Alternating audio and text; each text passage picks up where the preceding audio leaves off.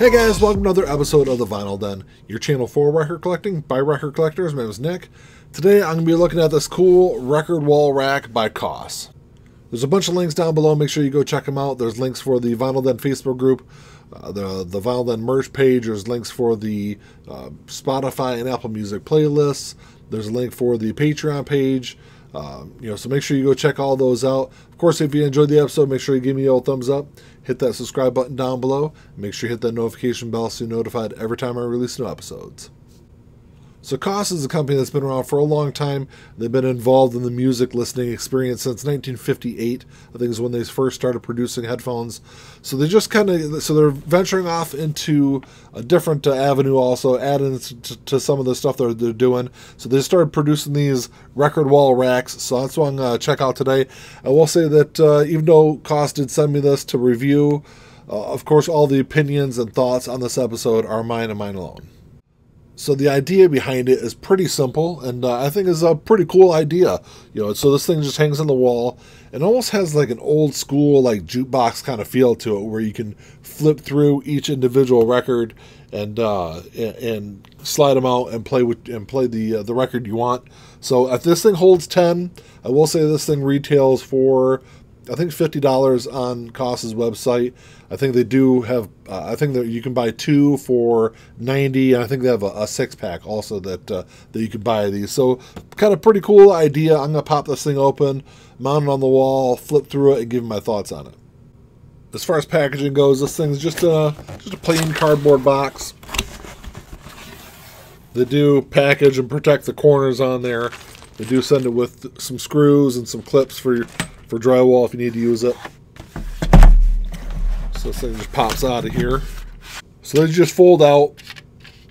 And then, I don't know if you can see it in the video, but between the cracks are where your screws go into your wall. So it's got four screw holes, so it should be pretty pretty securely held to the wall, so there shouldn't be any kind of uh, issues with it falling off the wall or anything like that. And then your records just slide right into these slots. And then, like I said, you can just kind of flip through look find what you're looking for, and then play it. So I'm going to go ahead and mount this thing on the wall and kind of give you my ideas on it. So I will say this thing mounted pretty easily, and as you can see, you can just kind of flip through the records and see each each individual one. I guess I hung that ACDC in there a little crooked. So the spine goes against the wall, and then the rec, so you're able to pull the record out of the uh, the jacket from the end.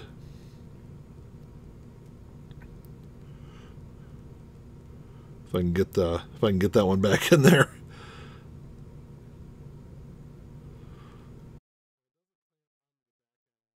It doesn't clamp on the spine strong enough to kind of stop you from being able to pull off the record and put it back in. As you can see, the record just kind of slides out, and it's got like a the the center of the of the slot is is small enough to kind of hold your record in there pretty pretty firmly. So as you can see from the video, this thing was pretty simple to hang. It was just four screws right in the wall.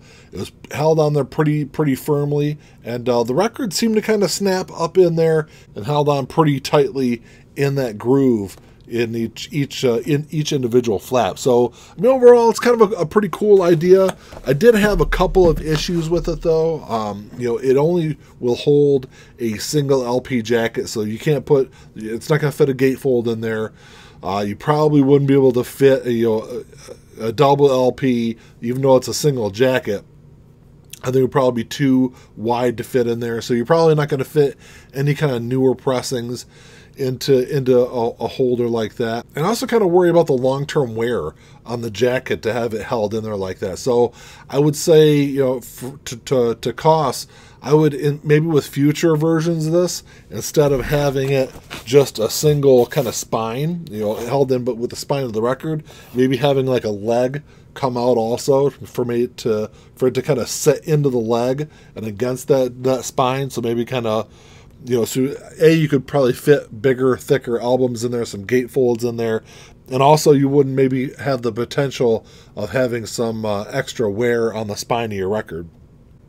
The other thing I really noticed is once I filled it up with records, as you can see, it didn't really set against the wall flat. So, you know, if, if it is sitting in an area where it doesn't have something directly in front of it, you kind of run the risk of someone, you know, accidentally walking into your records. So maybe, like I said, maybe having a, a flat that kind of fold out to, to hold the, the bottom of the record so it kind of sits in a cradle more than than slides in the slot if that uh, if that makes sense. Maybe do a, a, different design something like that. And also to have it you know when it folds flat to have it flush against the wall I think would be a, a little bit of an improved design uh, for for this kind of product overall, I really like the, the, product. I think it's a really cool way, kind of a, a like I said, a, a, vintage kind of feel to it. it has that like flip uh, flip through uh, jukebox kind of feel to it, which I really like. I think it's a really cool way to uh, to kind of display some records. There, like I said, I've got some kind of questions with it. Like I said, the the long term wear on the spine, I think, is kind of my big thing. And uh, you know, I, I, guess I'd have to see how. I'll, I'll, put a couple of them up there and uh, have them kind of sit up there for a while and see if there's kind of kind of like added wear to to the to the actual jacket itself. But uh, like I said, kind of a cool idea. I like where Koss is going with this, and uh, maybe with uh, with future versions of this, we'll see a an improved uh, product.